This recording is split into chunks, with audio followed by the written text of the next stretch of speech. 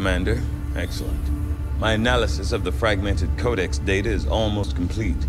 The information I've uncovered so far outweighs the loss of the Shadow Chamber, as you'll see.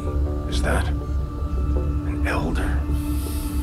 Haven't seen one in at least a decade. Yes, and I believe I now understand why.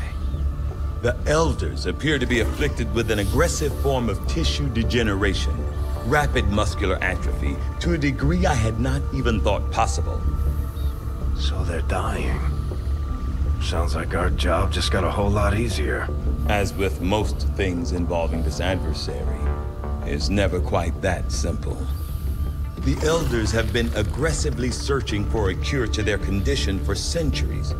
Each time they encountered a new species, they procured what genetic information and material they required and moved on to the next world.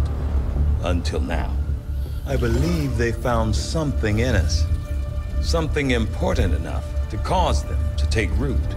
A cure? Not that I can determine. Several key files were previously deleted as part of something called the Avatar Directive. Avatar. We need those files.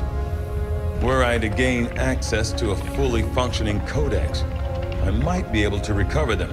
Or blow the entire ship to hell this time around. I didn't say I needed the creature here, Bradford. I am confident I could access the unit remotely, provided your soldiers can get close enough to it in the field without destroying it first. That we can arrange, Doctor.